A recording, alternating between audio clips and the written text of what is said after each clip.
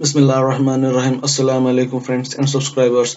This is Mahmoud Sheikh and from past few videos I am working on a tutorial series of developing a CRUD application using AngularJS, Ajax, PHP, MySQL and Bootstrap. In my last video uh, we have done or completed the functionality of viewing an individual post in detail. If I click on the view page, view link on each of the blog posts I'll be redirected to a different page where I'll be getting the detailed complete description of that particular blog post okay? So now uh, we will be going to learn the last uh, module of this series which is the delete.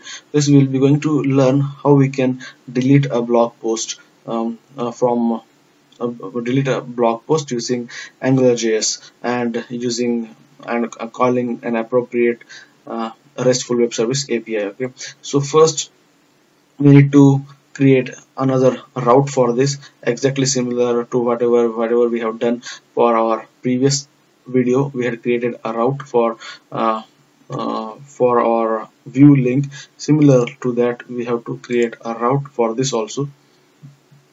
Let's copy and paste it here. And then we need to make it as delete. Delete and here will be the id we, we, uh, we need to uh, create a for delete and slash we need to pass the id exactly the same way but we had added for our post okay?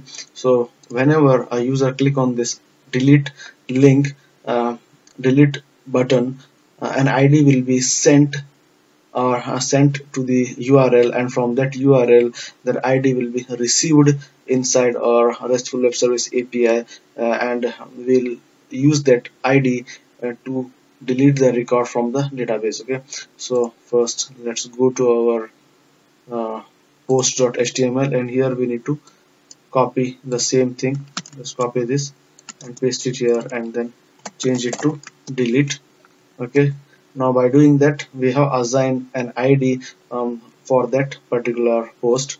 You know if i refresh and if i uh, put a cursor on this delete button you can see on the left bottom of the window you will get a link saying that 127.0.0.1 slash angularjs crud slash hash slash delete slash 8 okay here at this position you will see the link. Okay each uh, link each uh, button is having an eye with a different id okay so whenever i click on this i'll be redirected to delete view. Okay so here we need to change the view as delete. Okay then here we need to change it as delete controller. Okay we need to create uh, another controller with the name called as delete controller here. Okay let's copy this. Okay copy and paste here and change the name of the controller as delete controller. Okay then we need to change our restful web service API name to delete. Now we need to create this restful uh, uh, web service API for deleting a record from the database. Okay now yes everything will be the same. And here we need to create HTML okay now let's for time being let's keep it as it is. Okay now uh, the explanation is same whatever we had done uh, for while creating a view controller okay? So we have created an HTML object and into this I have set a URL for our uh, delete RESTful web service API which we are going to create just uh, now. And we have uh, set a params. So um, inside this route uh, we have set an id okay? Which is the id of the post that we are going to uh, select for deleting okay? Whenever you click on the this button that id will get sent to the url and from the url that id will received here and then from here it gets passed to this route params and from this route params that id will get passed to this uh, store inside this id and this id will be sent to this restful web service api where we can uh, process that id uh, to delete a record from the database okay? And from here it will return the response um, uh, with an appropriate message saying that uh, record deleted successfully or failed to delete a record okay? Now we need to create a web service api a restful web service api with the name called as get post so come to our web service folder right click on it and click on new file and press ctrl s and then delete dot php okay now open a php tag and we need to uh, call our config uh, file first. So let's just include that file include once config.php okay now we need to get the id from the url dollar id equals to dollar underscore get. And this will be the id okay. So this is the id which we are uh, receiving from the url whichever id gets selected. That id will get uh, passed to url and from the url that id will be received here in this param and from here that id will be sent with the help of this RESTful service api to this file called as delete.php okay now we need to check for the emptiness whether that id is having any value or not. Dollar empty of this id okay if this um, id is having some value then we will be creating an sql uh, variable to store the query delete from table name. Our table name is dbl post where id equals to this dollar id okay? So we have written the query where I am deleting the record uh, of which id of those id which have been selected by this delete button okay? So here I'm saying I'm deleting the id deleting the post uh, where id equals to this id okay now dollar query equals to and we need to use our configuration object which we have created inside our config folder. Once sorry config file. Here you can see we have a connection object here inside our config file. We need to use that config uh, object to call the query method of it. And then inside it we will pass this SQL variable. Okay then if this query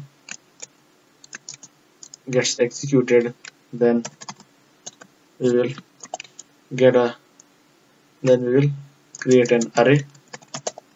And inside that array we will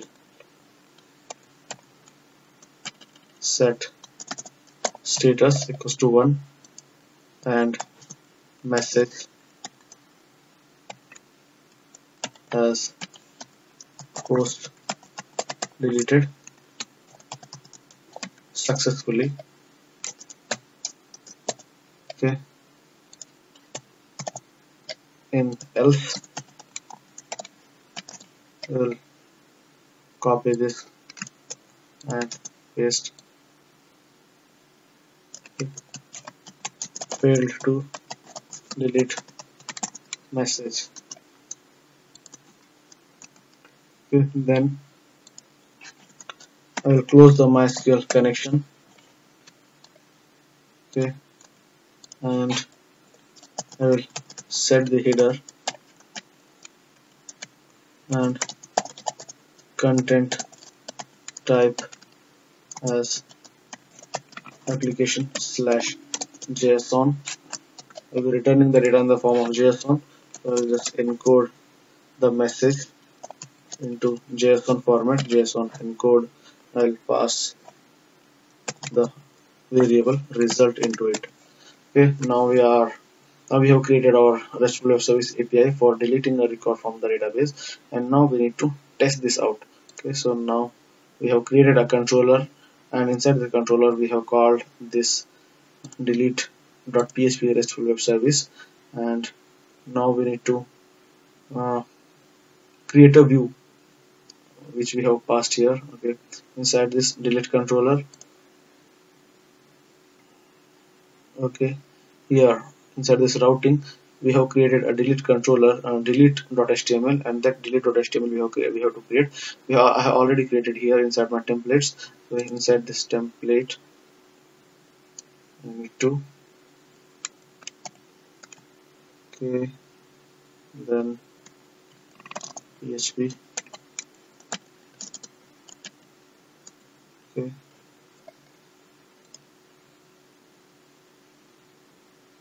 Okay this one. Post. And let's go here. Delete this. H1 and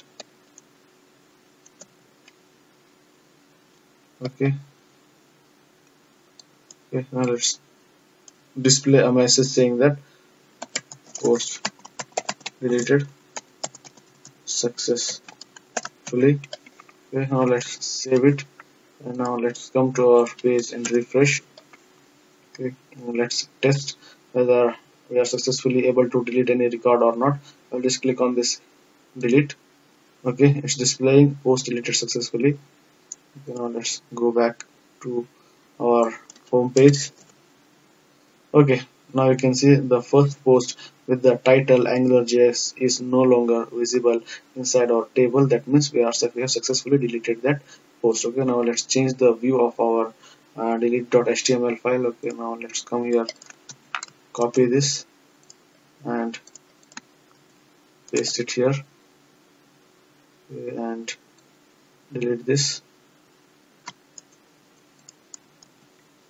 Okay now here I have changed uh, uh, the markup of my delete.html now I will go to my home page. I have deleted few records also and if I click on this delete to delete this WooCommerce post delete it. Okay now you can see the post has been deleted but it's not showing the messages post deleted successfully. Okay now let's I will just uh, clear the cache and come back. Okay now let's refresh our page. And I have only two records left on my table. I'll click on this coordinator uh, post. I'll click on this. I will get a message saying that port post deleted successfully. And if I click on back I'll be redirected to my index page. Okay now I have added a link to my uh, delete.html partial template and yeah that's all yeah, this is how we can uh, delete a record from the database with the help of AngularJS and a RESTful web service APIs. Um, okay, so I hope you understood how to create an AngularJS CRUD application using AngularJS, Ajax, PHP, MySQL, and Bootstrap. Okay, we had started with uh, downloading our AngularJS and uh, Bootstrap framework, and then we uh, moved on creating directory structures. And once we created the directory structures we created the database for it and then we created user and assign privileges to the database. And then we started up writing down our AngularJS coding and uh, creating our module inside AngularJS okay this module. And we have used this module name inside our index dot uh, index.html with an ng directive ng app equals to crud and we are um, and we successfully managed to display our partial templates with the help of this ng view directive inside our container in our index.html file. Okay. And we learned how to route how to um, establish a routing mechanism using um, a route provider or ng route module inside our uh, passing it as an uh, dependency injection inside our um, inside our module. And then we make use of the functionality of that ng route module in our application okay, by creating different routes okay? At the end i just forgot to tell you one more one thing. Um, if none of the route gets satisfied if user has not uh, enter any of this route then i should tell the angular to go to any uh, any uh, else uh, to any default route. For that I just have to type in dot otherwise. Okay and bracket. Okay, then redirect to forward slash okay? Yeah what does what does this mean is if any user comes here and tries to enter any uh, url like course okay?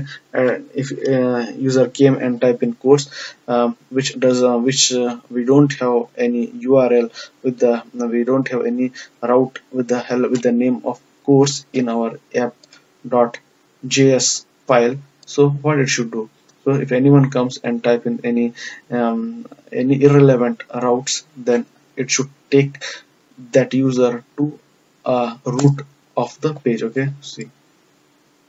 Okay I'll just save it. Save it and let's okay see?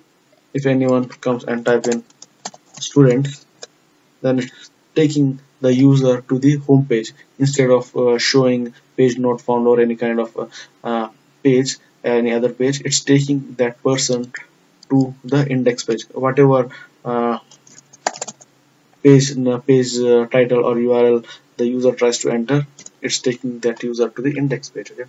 So otherwise we can redirect that user to root of our website yeah so I hope you like this video. I hope you got some useful information on AngularJS creating RESTful web service APIs using PHP and uh, use and uh, integrating those web service APIs with AngularJS and calling different kinds of uh, web service APIs, creating different web service APIs for creating, uh, deleting and viewing the data and fetching the data from the database. I hope you got some useful information out of this video tutorial series. I'll uh, strongly recommend you guys to watch this complete tutorial series. Then only you will be going to able to understand uh, each and every concept of it. Uh, if you like this video, subscribe to our channel, click on like button, share it with your friends, and yeah, we will see you guys in our next videos where we'll be uh, covering some different topics. And yeah thanks for watching guys